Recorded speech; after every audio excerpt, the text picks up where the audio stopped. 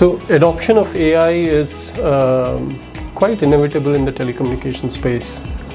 Um, when we think of AI, there are two broad categories that emerge. One is AI for networks and the other is networking, networking for AI. In the first category, it's all about managing really large networks, complex networks, um, getting intelligence out of existing telecommunication data.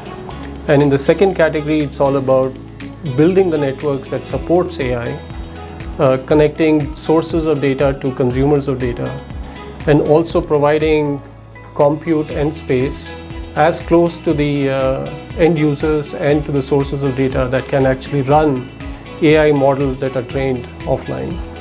Uh, luckily for Tejas, we are in the networking space. We have tons of data and we are quite excited about the revolution in AI in telecommunications. We see emergence of many different types of use cases in telecommunications and application of AI. Uh, in particular, there are four broad categories. Um, the first one has to do with anomaly detection, where we look at networking data that's coming in volumes, where every byte of data can be examined to see if there's any anomaly uh, that's happening in the network at that point of time. And AI can detect it and flags it off to a human to take further action to in case some remediation is required.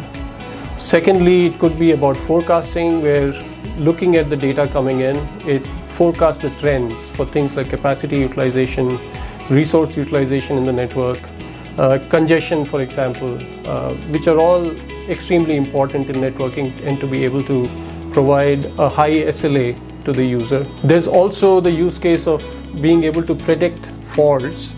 Um, you know, if, for example, if my AI model can tell me what's going to happen in the next 24 hours if there's going to be a fault. Finally, there's this concept of using uh, LLM type models to provide a very interactive experience uh, to the customer and help them do with provisioning, with configuration, with designing the network and so on.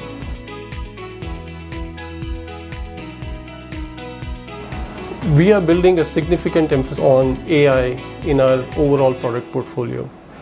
Um, starting with an excellent telemetry solution that collects data from uh, thousands, if not hundreds of thousands of network elements and brings it all in a, in a very nice, uh, manageable format to a central location where we can run AI training models for, for, for our customers.